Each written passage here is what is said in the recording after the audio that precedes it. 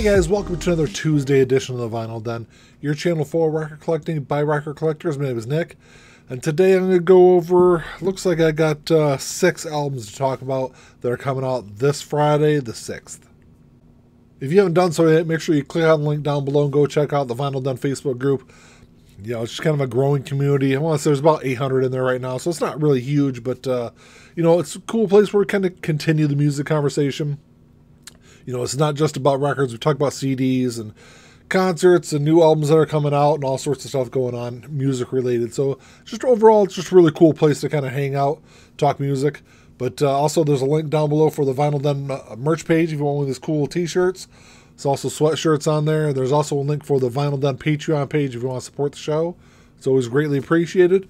You know, if you enjoyed the episode, make sure you give me a thumbs up hit that subscribe button down below and uh, hit that notification bell so you're notified every time we release new episodes. So, like I said at the top, there's not a, a whole lot coming out this week, but uh, there is a couple of pretty good big uh, releases.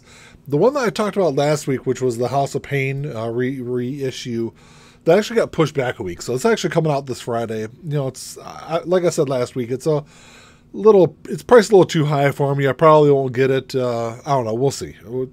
I'll put that in the maybe pile. But uh, the one that I'm sure that everyone out there has been dying for this week, this is the release of Release Me Too. You know, the new album from Barbra Streisand, which okay, it is coming out, but I'm sure I'm sure there's probably no one out there, at least no one watching this video that really cares about that. Uh, I just thought it was kind of funny and I tossed it out there. If you are a Barbra Streisand fan, it is coming out this week. I know that uh, I haven't heard anyone talking about it, but uh, that's one that's going to be out. But no, the the first one I'm going to talk about.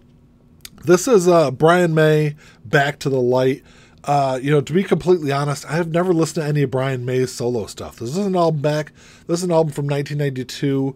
It's uh, newly remastered. Um, you know, it's a little pricey. As far I think it's just a single LP, and it's gonna run you about 32 bucks online. So I'm sure it's gonna be a couple of dollars more in store. Um, you know, like I said, I, I haven't listened to any Brian May stuff, his solo work. Obviously, the great guitarist from Queen. Um, so I'll, I'll, stream that one, but um, you know, it's probably not one I'm gonna end up picking up.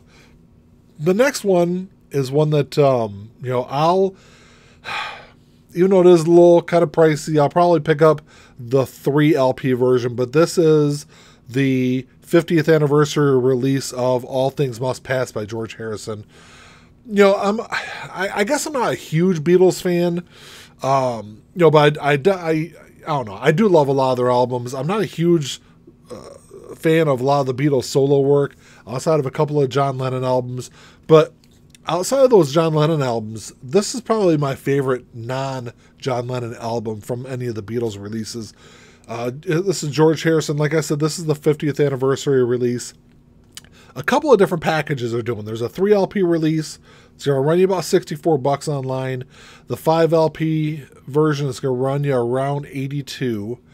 And then there's a there's a I'm sorry, there's a well there's an 8 LP version that's going to run you 171 online. I've seen it all the way up to $200 in stores. And then there's this big mega Uber box set. comes with a whole bunch of stuff. I'll put a picture up of it. Uh, it's going to run you about 1200 bucks. So I mean it's kind of running the the gambit at least a, you know a wide range of uh, prices there to kind of fit whatever you want. Uh, like I said, the, I'll end up if I do end up picking it up, it will be the three LP version of it. You know, a lot of the bigger stuff, you know, the stuff that's included in the five, the eight, and the Uber box set. You know, I'm not going to be really interested in a lot of those uh, other. Um, added pieces in there, outtakes and things like that. Uh, I think there's demos, outtakes. There's even like some studio jams on there. Um, just a bunch of goodies are included in all those boxes. But uh, I- am more interested in just the LP, so I'll probably just pick up that 3 LP version of it. The next one I got up, this is um, Push It, Salt-N-Pepa. I actually didn't know a whole lot about this release.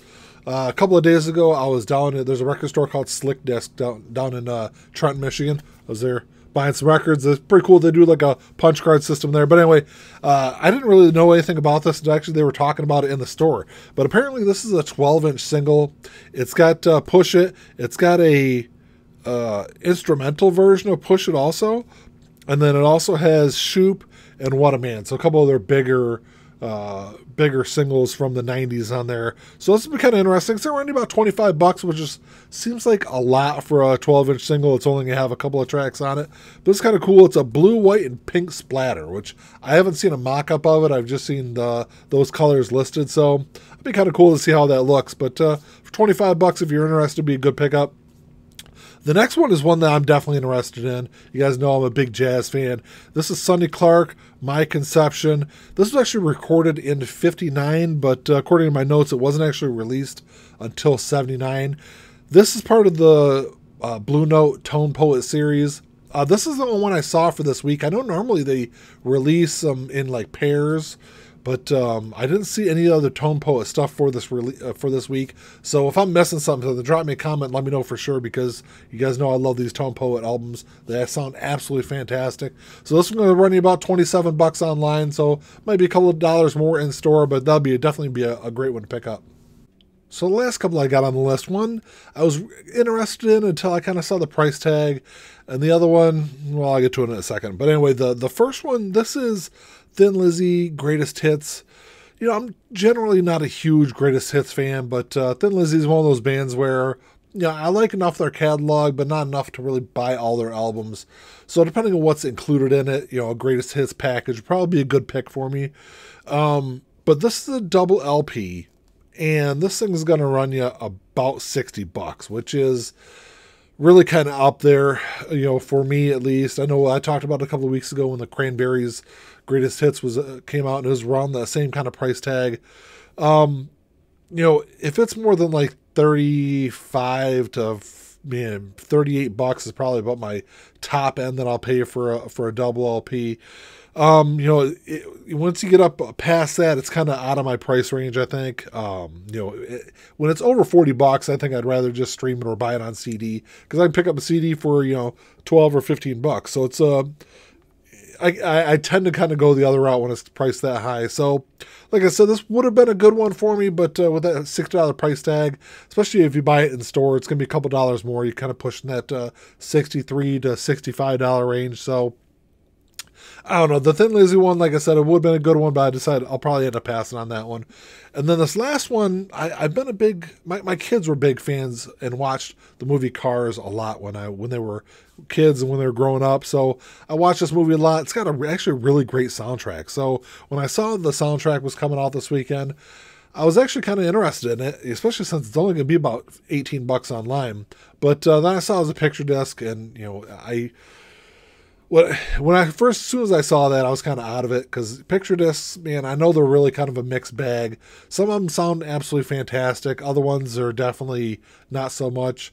And since this is a soundtrack, and I'm not really sure where or who's pressing it, um, so I'm not really sure how the quality is going to be. I'll definitely end up passing on that, especially since even though there's a couple of really great songs on it, I can kind of get it elsewhere. I can stream it or get it on CD, whatever. But um, I don't know. Those were the, the at least the ones I was looking forward to this weekend. Well, that's all I got for you today, guys. Thanks for checking the show out. You know, I know I miss every every time I do one of these new release videos. I know I, I always mess up or uh, miss something that's coming out. You know, because I only look over a couple of different lists. I don't really scour through different bands and labels websites. So if there's something coming out this Friday that I didn't talk about today, make sure you drop me a comment down below and let me know. Because um, I'm always looking for cool and interesting stuff to pick up. So, or let me know if you guys are interested in any of this stuff, or if you are a big fan of that Barbra Streisand album and you want to give me grief for kind of knocking it a little bit, that's cool also. But if you enjoyed the episode, make sure you give me thumbs up hit that subscribe button down below and uh, check out the show on Thursday. We got another one coming out uh, on Sunday. Well, that's all you got. Until next time, keep on spinning. Peace.